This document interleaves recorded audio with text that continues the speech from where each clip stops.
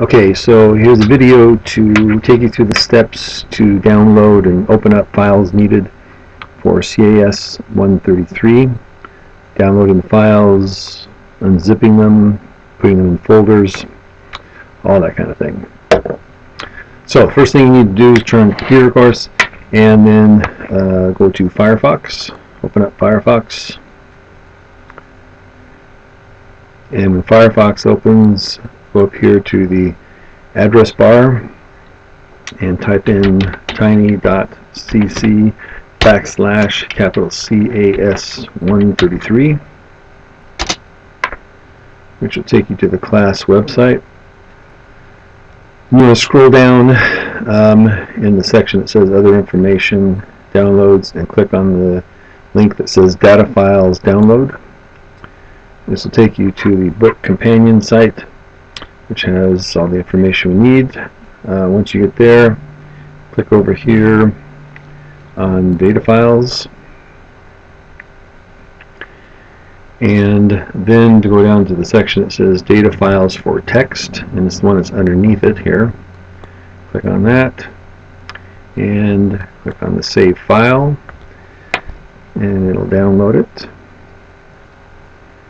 okay when it's downloaded then go down to your library and click on downloads. And then click on this which is what we just downloaded. Double click on that. And look at this and we say double click or click on run. And then this is an important part unzip to folder. Um, if you're going to put on your flash drive you need to find it first. So you click on browse and go down to click on computer and this is my flash drive yours may have a different name so open that up and unzip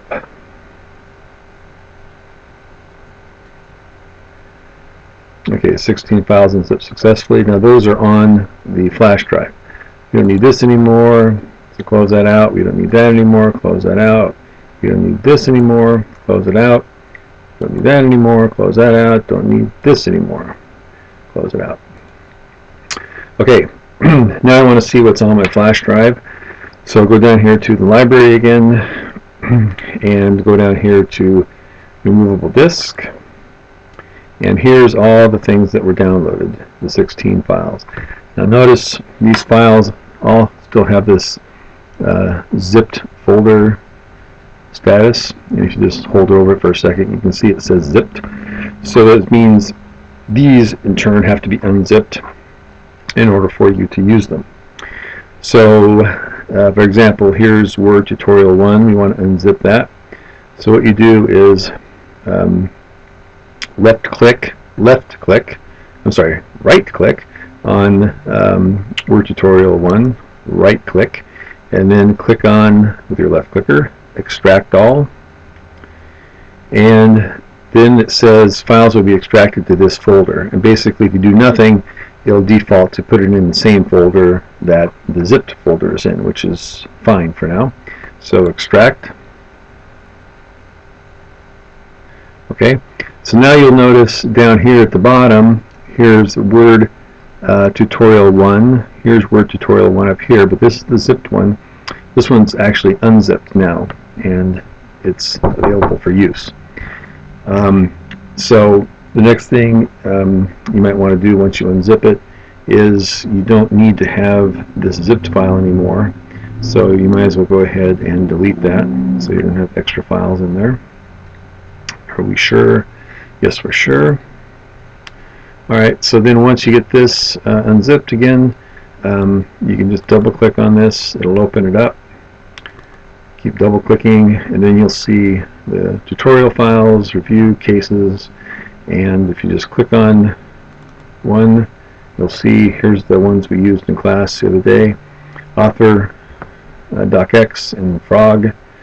Um, and you can go look at the other ones now some of them, like this one, won't have one, and that's okay. We just uh, they set it up as if it had one. Some cases won't, so don't be freaked out if there's nothing there. It just means for that particular case, you're not going to um, have a uh, file to start with, so not the end of the world. and that's basically basically that. Now, while we're here, if you want to set up a um, in the book it tells you to put things um, into certain folders maybe um, and you don't have to do that exactly um, but if you want to set up a folder for your homework that's easy to do and you can do it right here where the other stuff is. Um, and how you do that is just go down here to a blank area right click and click on um, new and then folder. You'll get a new folder there. So let's just call it uh, homework. Homework. And then uh, click off of it to make it go live. Um, so if you click on double click on homework you can see that um, nothing is there. So what we can do uh, then is double click on that and then in here if you want to you can put in subfolders for the various sections. So if we wanted to put a new folder in here for Word we can do that. Word and then if we want to go even further and subcategorize this into the chapters of Word. You can double click on that and go in here right click again new and folder and say chapter 1 click over here somewhere to select it. Uh, new folder chapter 2 etc Okay, so now if we go back and look at that, here's our homework. So we double click on homework, Word, chapter 1 and 2. So when you go to save your, your document, so let's say I'm going to open up Word,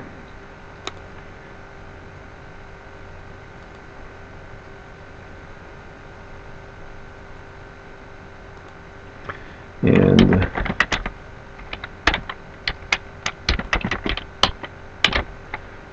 Okay, and I want to save this in Word Chapter 1 homework. Alright, so go up here in File, Save As, and then I need to go down here on this side and find the removable disk. Homework, Word, Chapter 1, and Save. Okay, to prove to you that all works, come back here click on library again, removable disk, homework, word, chapter 1, this is a test. So it's right there.